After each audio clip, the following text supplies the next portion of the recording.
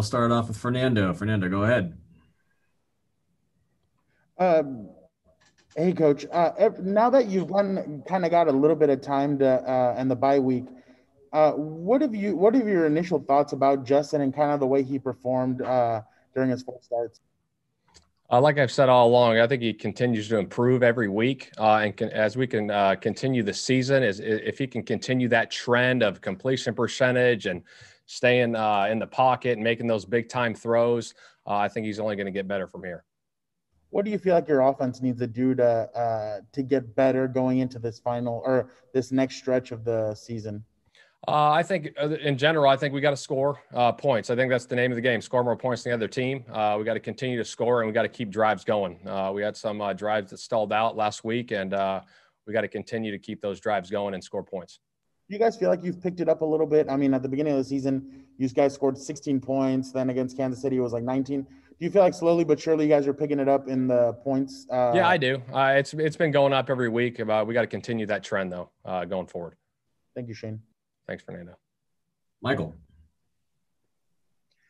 Hey, coach, just wanted to get your initial thoughts on the Jaguars defense. Obviously, this is a much younger team than it was uh, a year ago. There's no more AJ Bouye, no Calais Campbell, Yannick Ngakoue is now in Minnesota. Just your thoughts on, on, what you see, and then especially in terms of those young playmakers like their rookie K'Lavon Chaisson, CJ Henderson, and then a second uh, second year player Josh Allen. Right. I mean, you look at their defense in a whole. I mean, what really stands out is they play with a lot of energy. Uh, they're a tough football team. They run around, they fly around.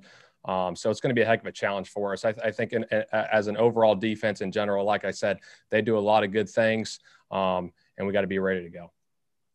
And this is just uh, out of curiosity, how much do you script, if at all, coming out of the third quarter to, to kind of get the offense back into a rhythm and to just get them back in the flow of things. Yeah, that's a, that halftime adjustments. We go in there and talk through things, and uh, we go in the locker room and talk about what we're going to come out with in the second half, and we go from there.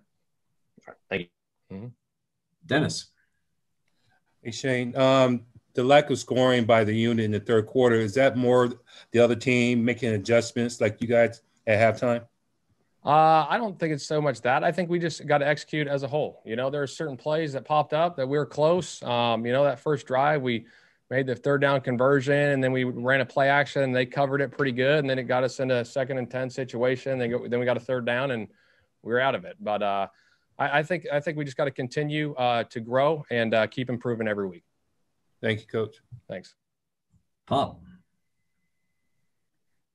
Hey Shane, just with Justin's development, I don't know if anyone really expected him to to play as well as he has, given the circumstances, given the abbreviated offseason and the lack of time on the field.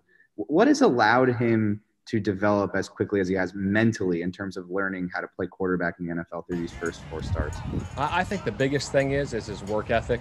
I mean, he comes to work every day wanting to learn, wanting to get better. Uh, Coach Pep and, and Rip Scherer, senior assistant, work really well with him, um, and, and we continue just to try to go through every little detail that's going to come up in the game, whether it's a check or whatever it is. Just make sure we're always on it. So if it does come up in the game, he's prepared for it, and he's been doing a heck of a job uh, with that. I mean, he's obviously a really intelligent person. You know, in the pre-draft process, you hear about the 4.0 GPA and you know biology major and all that kind of stuff. Um, but in terms of his football IQ, how, how have you seen that develop? And, and, just the general intelligence that we have, how important is that to being able to grasp information and then process on the field? Yeah, 100%. I, I think the, the, best players that ever played this game have a, have a common sense and a feel element for the game. They can just see it really well. And obviously, him being at six, you know, five, six, six, uh, just to see the field. I mean, he can see it well. He has good vision with his eyes. Uh, he knows where defenders are going to be the timing with the receiver, hitting him in certain windows. Uh, we work on it obviously in practice, but he's got a great feel for the game in, in general sense. And then, and just about how about his ability just to like grasp and process information? You know, obviously, it's really important to be able to do that at the quarterback position. But is, have you noticed that trait about him during your time working with him so far? Yeah, absolutely. I mean, once you rep something over and over again and you see certain looks over and over again, and you're going to be, become more comfortable uh, in the system. And obviously, from a defensive standpoint, seeing different looks, watching so much film uh, that he does, I mean, you get a good feel for what they're doing on defense, and then the game starts to slow down a little bit, and it can become a little easier for you uh, when you know what the defense is doing, and obviously you have a good grasp of the system offensively. Thanks, Shane. Thanks, Bob. Joe. Shane, first down production, I think, in terms of uh, first down success rate and everything, you guys are near the bottom of the league and around 30, 32%. Just what can you guys do on first down to kind of stay up to date and not get behind against the chains? Yeah, I think uh, as we looked at it in the bye week, there are certain things that we looked at that we can start uh, drive starting plays uh, to help us there. Uh, so we looked through that from a self scout uh, self scout standpoint during the bye week. Uh, so we have some things to improve there um, that we like going forward. How much of it? How much of it has been just injuries and personnel at the moment that you guys have kind of faced second and third and longs? Yeah, I don't. I don't ever blame anything on injuries. I mean, the guys we got, those guys step up and they're playing hard. Uh, so we're excited about the guys we got in there. Okay, thanks. Thanks, Joe. Gilbert. Yeah, Shane. Uh, what can uh, Joe Reed improve on uh, to be active on game days? Um, he's continuing every week. He's getting better receiver. Um, so we're excited about where he's at. He's progressing every week. Um, so we're doing a nice job with him, especially in the classroom and then coming out individual routes, drills, and all that. So we're excited about Joe. Could it also be part of it that you guys have now plenty of depth at wide receiver with, with Tyron and, and Jalen and, and KJ? Yeah, I, mean it's a comp. I mean those guys are all competing every day. Every day you come into work, it's an interview, um, and those guys are doing a heck of a job, and they're competing every day. It's a friendly competition, uh, and practice is competitive with that group of wide receivers, and we're excited about all those guys. And, and last year, it seemed like you guys struggled to get that third receiver. And now you have maybe four or five guys. Is that just the receivers improving, or is that Justin Herbert being able to kind of distribute the ball well? I think it's both, but those guys are improving every day. I mean, they work at it. I mean, it's no surprise that, you know, Tyron Johnson and JG, they've been working through training camp and you, go watch them out in practice. Those guys practice hard. Um, so that's where it comes from. When you practice hard and you're dedicated to your craft, you're going to continue to improve as a player. Thank you, Shane. Thanks. Cam.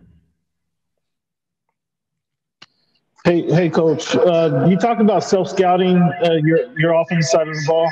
Uh, talk about your running backs and kind of what you've seen from them, and then what you want to see from them moving forward, and some of the things you want to see improve improve on in this stretch of games.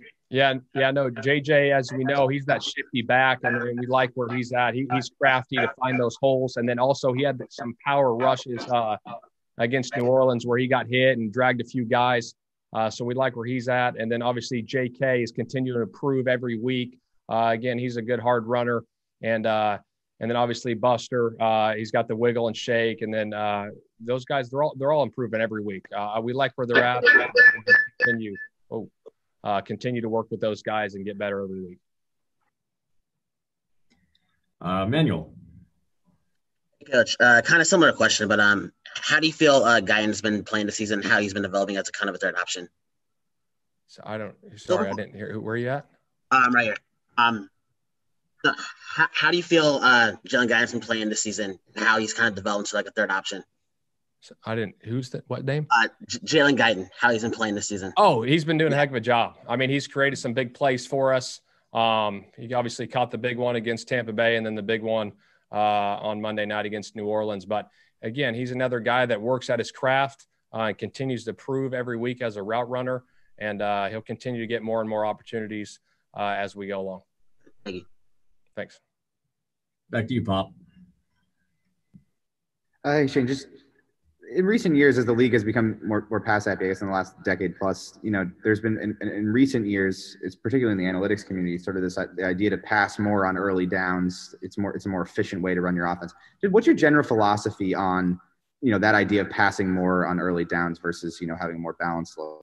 Yeah, I think I think a big part of it depends on the team you're playing. Um, I think you can go and do when you're studying an opponent, uh, saying, "Hey, shoot, we can get some things on first down in the pass game," or we might go into a game saying, "Hey, the run game looks good on first, second down because of what they're presenting on defense."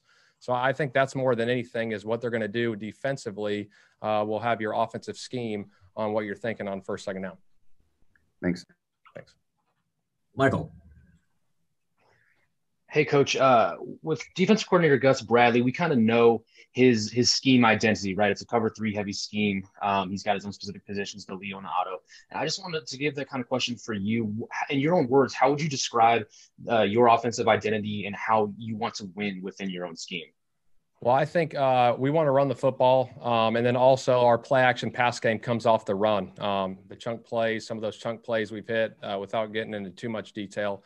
Um, I think that's part of it right now, and then obviously we continue to grow every week and and, and morph into really, really what we're trying to get done um, offensively every week, uh, week in and week out. And like I said, it, and things could be tweaked here and there every week uh, by who we're playing defensively. All right. Yeah. All right, Shane, last one for you. Cam, go ahead. Hey, Shane, I just want to talk about um, your process of creating chemistry within your offensive line. Obviously, there's been some changes, a lot of guys in and out moving around. But how do you go about creating that chemistry with the offensive line? Is that just in game action, or how do you guys do that? Well, it's really it starts in practice and in the classroom. I mean, there's a lot of communication that goes on on a daily basis with those guys, and then obviously you get the individual period with the offensive line. And Coach Campen does a heck of a job with those guys, uh, getting them ready week in and week out with the rotations that are happening. And again, it, it's a lot of communication that goes on, and uh, everyone's got to be on the same page because obviously if one guy is off just a little bit, it could screw up the whole play. So uh, the communication part's big, and it starts in the classroom and then out on the practice field. All right. Thanks, Shane. Appreciate the time. Appreciate you guys. Thank you. Shane. All right, guys. We'll see you down at the field.